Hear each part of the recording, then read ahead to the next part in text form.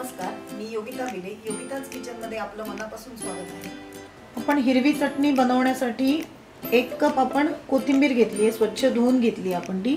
एक कप आपण पुदिना घेतला आहे दोन हिरव्या मिरच्या घेतल्या आहेत. आपण अर्ध लिंबू घेतलं आहे अर्धा टीस्पून साखर घेतली आहे एक टीस्पून आपण मीठ घेतलं आहे चार ते पाच लसूण पाकळ्या घेतल्या आहेत एक इंच आपण आलं घेतलं आहे हे सगळं आता आपल्याला एकत्र मिक्सरला फिरवून घ्यायचं आहे ही चटणी आपण कोणतेही आपण जे चाटचे पदार्थ करतो त्यासाठी आपल्याला लागते.